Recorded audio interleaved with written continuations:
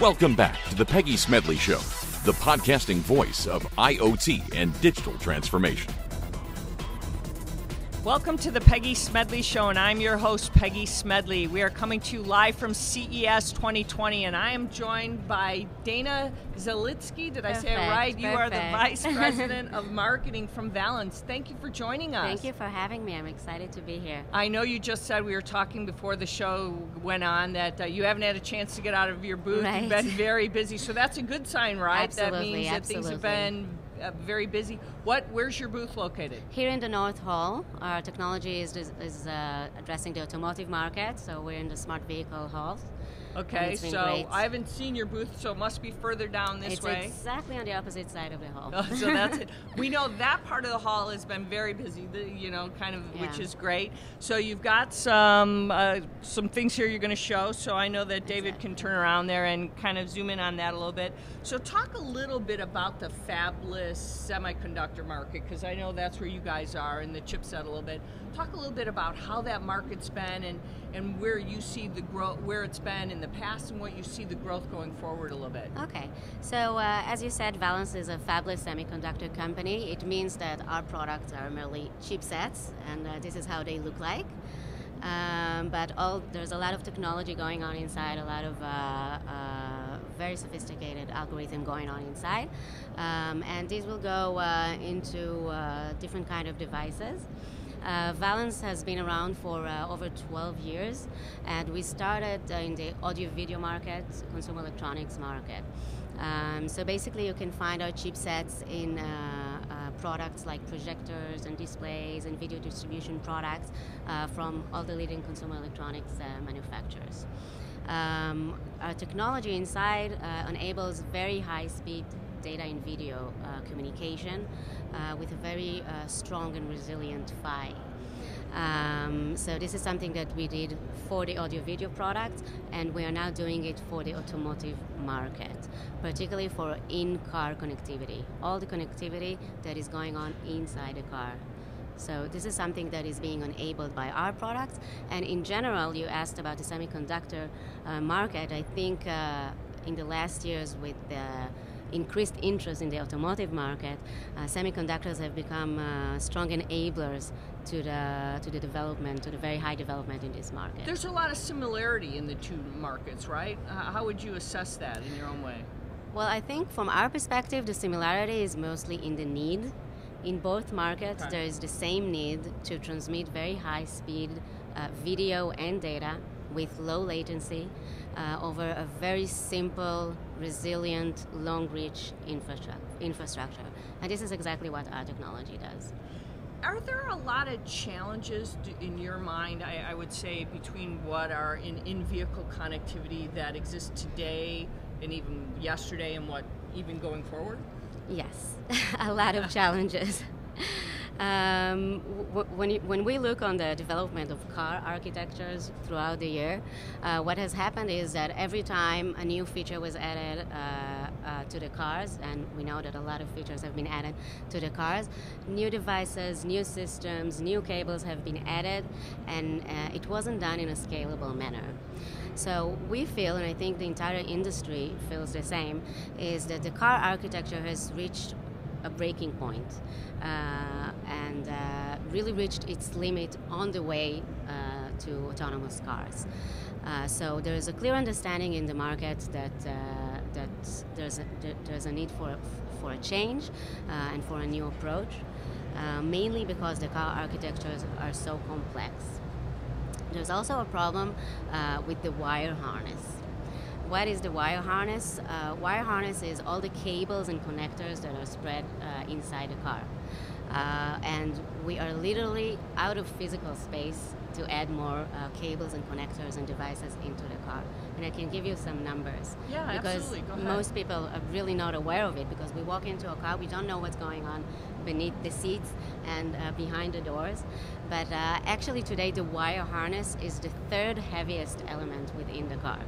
It weighs approximately 60 kilograms, and the accumulated length of all these cables can reach 5 kilometers. And this is today in an average car. Not talking about the future. We're not talking about autonomous car. Uh, so there's a clear need uh, to change the way we do things, uh, to have a centralized architecture, and uh, to converge, to converge systems, to converge cables, to converge everything uh, inside the car. Are we getting successful at that? I mean, I think that's you guys look at yourselves differently. I think than some of the other competitors, which we'll talk about. But do you think that that's an area that you want to have an impact on? For sure, this is an area uh, we want to have an impact on, and I think this is the reason that we have a valid case in the automotive market.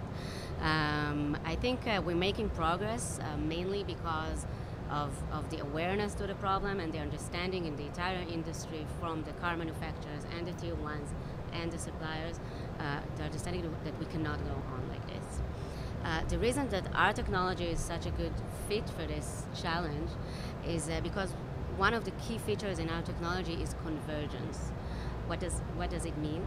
It means that with this chipset, we are able to aggregate many interfaces on the same link and by that, by that we reduce significantly the number of links in, in, in, the car, the number of connectors, the number of cables, the number of devices, the cost obviously, and, and, and so on. And then it also the number of things that possibly that can go wrong every time you're doing that, right? We think about all of that, you know, in a car and the headaches there. Talk about alliances. I mean, in, in order for the car and the automotive industry to work, there has to be a lot of partnerships and belonging to alliances. And the car industry has always been a part of that. How important has that been for you guys to be a part of and to continue to grow alliances? I think yeah. you're a part of one already. Yes. So uh, that's a great question because alliances and standards has been a key value for, for Valens from the beginning, even when we were a very small company. Uh, back in the audio video uh, business, uh, which is still going on and very successful for Valens, uh, we formed uh, an alliance that is called HDBaseT Alliance. The alliance is, the HDBaseT is the name of our technology for the audio video market. Uh, we formed this alliance together with uh, Samsung, LG, and Sony with the idea that for a connectivity technology, if it is not a standard, it will not be uh, a huge success in the market. It may have limit, limited business here and there, but if if we want our technology to be the dominating technology in the market, it has to be a standard. Uh, so we did it very, very successfully in the audio video market. Uh, Alliance has today over 200 member companies that are our customers and are members of this alliance. All work with the same standard, and our technology is by all means the de facto connectivity standard in that market. In the automotive market, we want to do the same because we understand that in this market it is, it is even more important uh, to have uh, uh, the same uh, connectivity infrastructure. Uh, we understand it is important for the car manufacturers uh, and it will be for the benefit of the industry. So we are working very intensely with the standard organization in this market, uh, and we've had some uh, major successes. The automotive industry, though, for has you know, there's a lot of different, you know, the a lot of egos in the automotive industry. I'll say you of have to, everyone, everyone has egos, right? Yeah, it, it's kind of tough to get them to kind of agree on things when it's changing in some ways. They've been slow to adopt things, and now all of a sudden they recognize technology is moving very fast. But to change in the automotive industry has been difficult, and now they realize the way they've done things they can't do, and now they've got to partner with tech companies. Are you finding to get them to kind of move? Is now they have to be a mobility company right. versus them being an automotive company. Has that now getting them to understand the standard side thing is also somewhat challenging in some ways? Actually, the standard is uh, is not very challenging from their perspective. From their perspective, going for a standard solution is the safe way. But you're absolutely right. Uh, in, in in the past, the automotive market has been very traditional. It, it was very uh, difficult to penetrate for new technology vendors like ourselves into this market. But it's really changed in the past five years or so. I think thanks to new car manufacturers like uh, Google or Tesla and others that have kind of changed things. The true tech companies coming in, be- becoming automotive type right, companies, right? right. So okay. it kind of changed things and maybe gave uh, the traditional car manufacturers an incentive to open more for change. And we feel today that uh, uh, the industry is so open to new technologies. They understand that they have to be leaders in this race because there is a race uh, uh in this market. Uh, so they're very, very open for new technologies. In fact, Valens is uh, an Israeli-based company. We're based out of Israel, and in the past we used to say that Israel is startup nation. Today we call Israel transportation nation because the number of auto tech companies or auto tech new startups in Israel is incredible. And uh, all the car manufacturers are looking at companies from Israel uh, uh and are open to receive new technologies uh, here. And even if you walk the halls here, every uh, second or third booth is an Israeli company because we're making such uh, amazing impact in, in this market. Is is that because a lot of what happens is mostly what goes into the car and that idea of, of changing the way technology is versus not necessarily being one of the top five big automakers, but the technology that drives the the, the connectivity of that car. I mean, and it's changing that mindset. You know, and, and that's the way automotive companies have to think. It's the technology of what the consumer wants to see and the experience in that car now, and that's what you're talking about. Yes. And that's the thing that I think automotive companies have to see is that it's that experience and all the technology that makes that experience right. happen. Right. I think actually maybe uh, in the past, uh, most of the innovation in the car industry was in the user experience, but today everyone is talking autonomous, and in order to reach that that mm-hmm. goal uh, the innovation has to come from technology. There's no other way. And, and, it's interesting because we've been talking about when do we get to autonomous vehicles. We've been saying 2030, 2050, whatever those years might be, level 5 mm-hmm. And now, because consumers want it faster and faster and faster, but we have to think about safety. But then we have to think about how do you build the infrastructure? How do you build all of these roads going from city to city, state to state? In order to do that, it takes some time.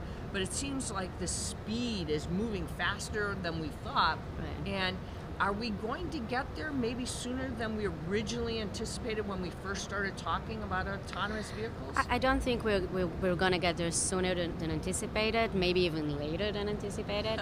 but but it doesn't matter. It's really for for the best of uh, of the industry and for for our, all of our safety. Um, uh, I think we, you will have level th- level three, level four. Uh, autonomy before you, you reach to full autonomy and the technology is out there. You just need to, to, to make it uh, uh, safe and reliable. So what can we expect about Valens chipsets in cars yeah, so uh, a lot. uh, we are showing here at the show uh, three of our product families. Each product family is addressing a different uh, use case uh, uh, within the car, whether it is for infotainment, telematics, or ADAS applications. we've announced two new partnerships in the show one with Aptiv, which is one of the leading tier ones in, in this market, one with Micron. Uh, uh, based on, on, on, our chipsets. Uh, so looking forward, there's a lot going on, and I think for our vision is to be the connectivity of choice for any high-speed in-vehicle application. So where can our viewers go to learn more about what you guys are doing? What's your URL? Uh, www.valens.com. Well, I've really enjoyed spending time with you, Dana. Thank Same you so here. much. Thank it's you so much for having me. All right, well, that's all the time we have for today. Dana Zelitzki, thank you so much. She's the VP of Marketing of Valens, so you just heard her URL. You can go up there. But most importantly, tweet at us at ConnectedWMag. As always, this is the Peggy Smedley Show coming to you live from CES 2020. If you've got something to say or you want us to learn more about what things you want to hear, here coming out live from the show floor, send us a tweet at ConnectedWMag. This is the Peggy Smedley Show, the podcasting voice of IoT and digital transformation. Remember, with great technology comes great responsibility. We'll be right back after this short break.